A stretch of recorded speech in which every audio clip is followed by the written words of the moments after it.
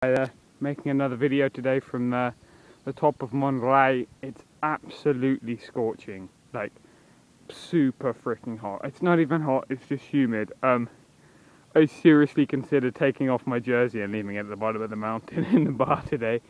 It's that warm. Um, so the weather against me, gravity was uh, against me.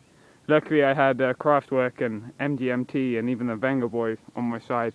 I actually feel really, really good stomping up the climb in the big ring and uh, put in a new best time. So that was awesome. You can just see how how nice it is here. Um, it's really really nice. It's really hot. um, I think I've drunk like three liters of water in three hours already, and I've still got a couple of hours to go. But I'm gonna get back because it's San Juan, and that means that there's fireworks and all kinds of craziness tonight. And I think there's a big popular barbecue, um, which is great because food's good. Uh, and I bought some beer in Barcelona last night, so it's going to be cold when I get back me in the fridge, and it's going to be great. I'm babbling because my blood sugar is probably really low, uh, but I have one of those peanut flavoured high sodium gels there, which are great, so I'm going to eat that and then ride my bike down this hill.